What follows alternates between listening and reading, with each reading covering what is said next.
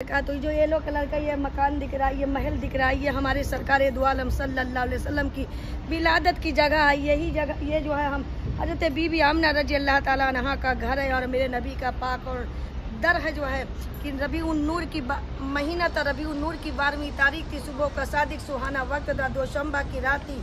आपके दादा हज़रत अब्दुल मुत्तलिब खाने काबा के तवाब के लिए गए थे, घर में बीबी आमना अकेले थी। कि अचानक आपको निशान बिलादत ज़ाहिर होता है तनहाई से घबरा जाती हैं और दिल में ख्याल करती हैं कि काश कुछ जो है औरतें होती जो हमारे तनहाई में मेरी सबब बन जाती। लेकिन किससे कहें, किसको बुलाए? ना ना उम्र शर में दामन गिर है, लेकिन जब निगाह उठाकर देखती हैं तो क्या देखती हैं कि आपके घर में यानी तीन खातन बड़ी लंबी लंबी, खूबसूरत, हसीन और जमील बीबी आमना रज़ी अल्लाह तहा के बारगाह में हाजिर होती हैं। बीबी आमना रज़ी अल्लाह तहा जो है पूछते हैं कि आप लोग कौन हैं? क्यों आई हैं? तो खवातीन कहती हैं कि अः आमिना जो है, मैं उम्मुल बशर हुआ हूँ। दूसरी खवातीन कहती हैं, मैं ईसा इस्लाम की मरियम तीसरी खवातीन कहती हैं, मैं हज़रत इब्राहिम इस्लाम की अहलिया हूँ। चौथी खवातीन कहती हैं कि, जो है, मैं जो है फिर की बीबी आसिया हूँ, जो है, बीबी आमना फरमाती हैं, आप लोग क्यों आई हैं? क्या करने आई हैं? तो खवातीन कहती हैं कि अः आमिना, मैं आपको मुबारकबाद पेश करने आई हूँ कि आप मोहम्मद रसूलुल्लाह सल्लल्लाहु अलैहि वसल्लम की माँ बनने वाली हैं। फिर बीबी माँ बनने वाली हैं। फिर बीबी अमना रदी अल्लाह तला फरमाती हैं कि मैं क्या देखती हूँ कि आसमान से जो है, यानी कुछ परिंदे आ रहे हैं और मेरे बिस्तर मुबारक को, महल मुबारक को जो है, आगे पीछे से मोतियों से सजा कर चले जाते हैं। आज हम रबी नूर के महीने में अब ये लड़ियाँ क्यों लगाते हैं? अपने गली और मोहल्लों को, घरों को लाइट बल्ब कुमकुम से, फूल पत्ती झालरों से क्यों सजाते हैं? इसलिए सजाते हैं जबकि मेरे आका की बिलादत हो रही थी जो है तो बिलादत हो रही तो अल्लाह ताला ने जन्नत के परिंदों को हुक्म दिया था कि यह फरिश्तों जाओ। माई सामा बीबी आमना के महल मुबारक को मोतियों से सजा डालो, मोतियों से सजा डालो, मोतियों से सजा डालो तो जो है बीबी आमना फरमाती हैं कि मैंने देखा कि आसमान से फरिश्ते चले आ रहे हैं। और जिबरील सलाम फरिश्तों की बारात लेकर आ रहे हैं। कोई मशरक में झंडा लगा रहा है, कोई मगरब में झंडा लगा रहा है। जिबरील सलाम काबे के छत पे चढ़ जाते हैं कि शहर का वक्त था, मासूम कलियाँ मुस्कुराती थी, हवाएँ खैर मकदम के तनाने गुनगुनाती थी। अभी जिबरील उतरे भी न थे काबे के मेंबर से कितने में सदा आई अब्दुल्ला के घर से। मुबारक हो शहे हर दो जहाँ तशरीफ़ ले आए मुबारक हो मोहम्मद मुस्तफ़ा।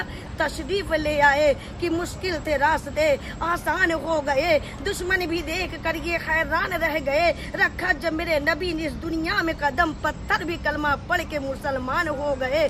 कि मेरे आका के निगाहों का आलम यह था कि निगाह जो डाली तो पत्थरों को कलमा पढ़ा दिया। यशरफ को मुस्कुरा के मदीना बना दिया। जन्नत की फूलों की खुशबू निचोड़ कर अल्लाह ने आपका पसीना बना दिया। बीबी आमना, यानी कि वो खवातीरें कहती हैं, अय आमिना, मैं आपको मुबारक बात पेश करने आई हूँ। अय आमिना, आज तेरा घर नूरो इरफा से मामूर है। अय आमिना, आज तेरे घर में जमा झम नूर की बारिश हो रही है। आमिना, अपने दरवाजे पर नज़र डालो। तेरे दरवाजे पर फरिश्तों को, का मेला लगा हुआ है। और वो खवातीने कहती हैं, अय आमिना, आज अल्लाह तबारक वाली ने मालिक के दोजक को हुक्म दिया है कि आज की रात दोजक की आग न जलाई जाए। और रिजवान जन्नत को हुक्म दिया है कि आज की रात जन्नत को सजा दिया जाए, जन्नत को आराबता करा दिया जाए, तमाम हूरो, गिलमा को जेवरात से आरास्ता करा दिया जाए। बीबी आमना फरमाती है कि मेरे घर में चिराग में तेल नदारा था, चिराग में तेल नहीं था, लेकिन मैंने क्या देखा कि आसमान की बुलंदियों पर मौजूद चाँद तारे मेरे छत के इतने करीब आ गए, इतने करीब आ गए कि मुझे गुमान होने लगा,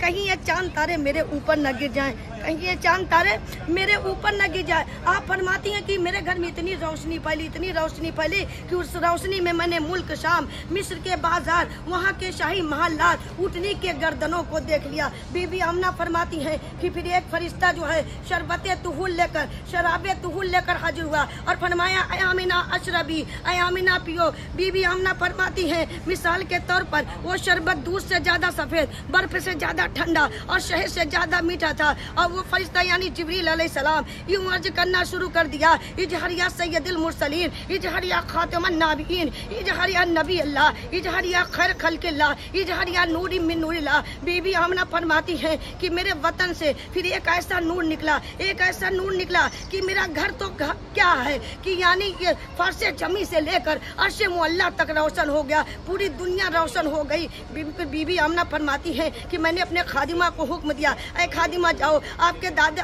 अब्दुल मुत्तलिब को खाने काबा में खुशखबरी दे दो। खादिमा जाती है क्या देखती है कि अब्दुल मुत्तलिब इबादत इबादत में मशगूल हैं, इबादत में मशरूफ हैं। खादिमा कहती है, हे अब्दुल मुत्तलिब, मैं आपको पैगाम लेकर आई हूँ, खुशखबरी लेकर आई हूँ। अब्दुल मुत्तलिब फरमा, अब्दुल मुत्तलिब फरमाते मुझे मालूम है कि क्या खबर लेकर आई हो। खादिमा कहती है, नहीं नहीं, मेरे और बीबी आमिना के सिवा तीसरे को एक खबर नहीं मालूम है, जो मैं पैगाम लेकर आई हूँ। अगर आपको मालूम है तो मुझे भी सुना दीजिए। अब्दुल मुत्तलिब फरमाते हैं कि, ए खादिमा, सुनो सुनो, तू यही पैगाम लेकर आई है, यही खबर लेकर आई है ना कि मेरे घर में जो है पैगंबर आकरू जमा आ चुके हैं। मेरे घर में जो है सैयदुल मुरसलीन आ चुके हैं। मेरे घर में इमामों के इमाम आ चुके हैं। मेरे घर में अव्वल आखिर नबी आ चुके हैं, जो है खादिमा कहती है, ए अब्दुल मुत्तलिब, मेरी और बीबी आमना के सिवा तीसरे को खबर नहीं मालूम थी। एक खुशखबरी आपको किसने सुनाई? तो अब्दुल मुत्तलिब फरमाते हैं कि, ए खादिमा, सुनो सुनो, जिस खाने काबा की तरफ़ सारी दुनिया के लोग झुकते हैं,